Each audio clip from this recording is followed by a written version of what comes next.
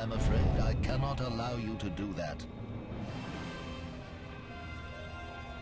I have waited many years to destroy the real